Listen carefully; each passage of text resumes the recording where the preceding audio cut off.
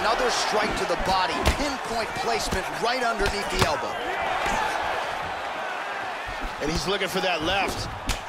Well, he might be working towards an attritive knockout. Whoa!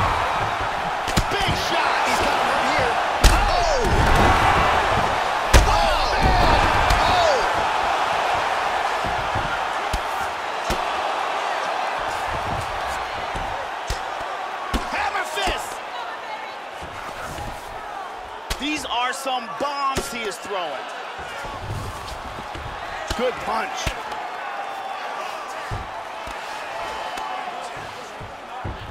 Well, he works hard to get up again here, but he looks hurt. Oh, he connects there. Again, going back to the jab just out of range.